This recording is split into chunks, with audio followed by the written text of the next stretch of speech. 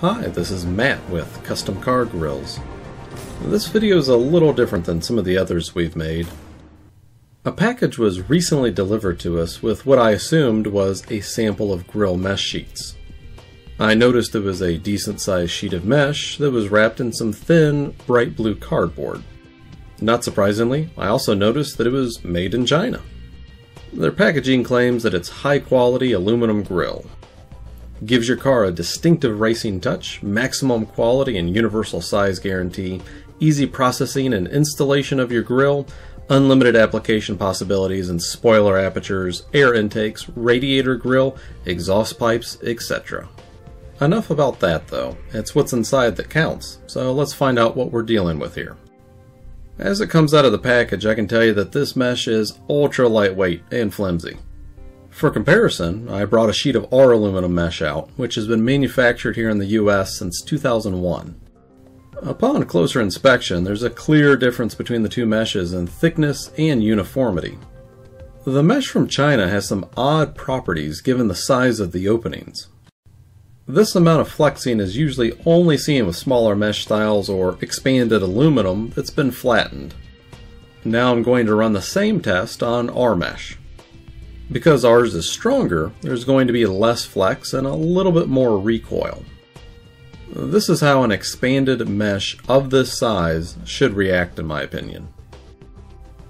Next, it's a showdown of the strand thickness. The China mesh is coming in at about 0.035 inches thick, which is about 20 gauge aluminum, a sheet thickness typically used in smaller meshes.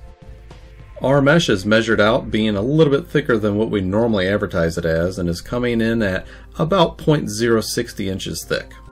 The overall thickness of the mesh is just as important to note.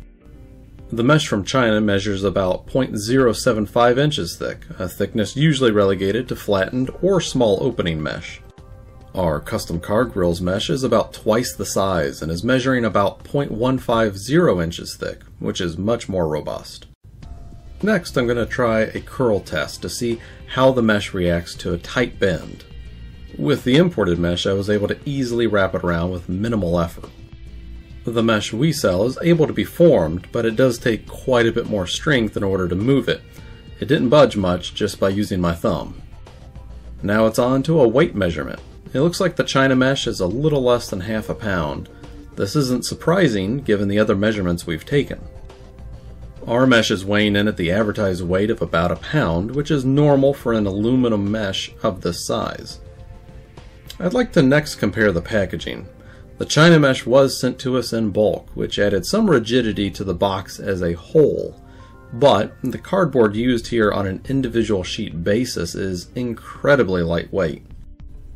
We ship our sheet out using 275 pound test cardboard that has a half inch center thickness, while a hard impact can damage the packaging, it's not something that I can bend by hand.